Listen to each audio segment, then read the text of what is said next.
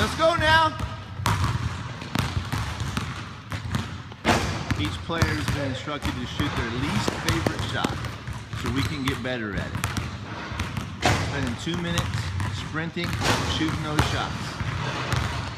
And then we have each player scoot back six inches on their least favorite shot. Come on, Brody. Gotta pick it up.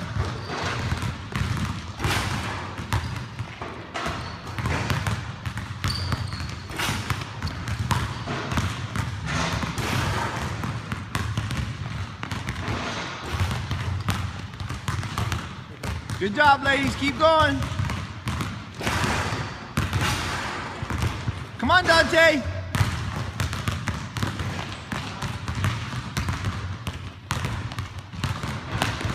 Don't worry about his ball, Jaden. He'll get it.